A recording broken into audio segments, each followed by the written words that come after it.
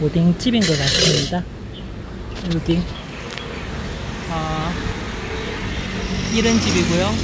오래된 집이고 뭘 하나 어, 끓여주시는 뭘 시켰냐 하면은 요거 시켰습니다. 제 왼쪽에 거 뭔지 모릅니다. 70원이라고 적혀 있습니다.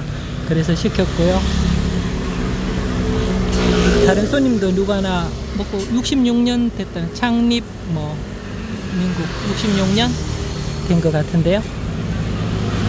네. 오뎅 끓여주시는 듯 그런 것 같은데요. 여기는 어, 가오, 어, 대만, 타이완, 남단, 최남단 도시 가오슝, 고융에 있는 저 건너편은 어, 해협사에 두고 있는 치진섬이고 여기는 영, 어, 다카오 영국 대사관 바로 옆에 있는 오래된 네, 오래된 요리를 해주시는구나. 그냥 오뎅 담아 주시는 게 아니라 요리를 해주시는군요.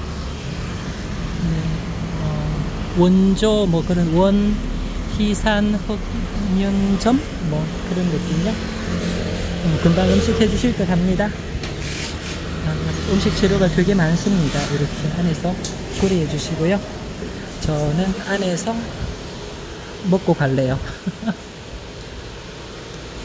7번 테이블에 앉아서 어, 에어컨 안 틀었는데 시원하다.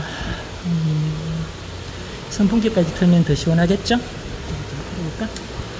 선풍기 작동합니다. 자, 이렇게 하면은 네, 아, 아, 선풍기 바람이 저한테 오는군요.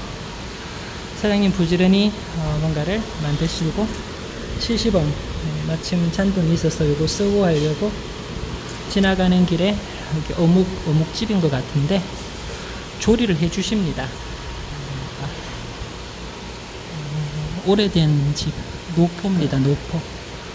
아주 오래된 집이고요. 그냥 아무 데나 들어와 봅니다.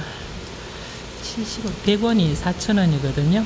그러면은 어, 3,000원 모르겠다. 그 정도 할라나? 네.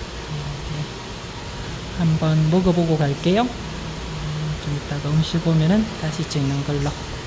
이상요.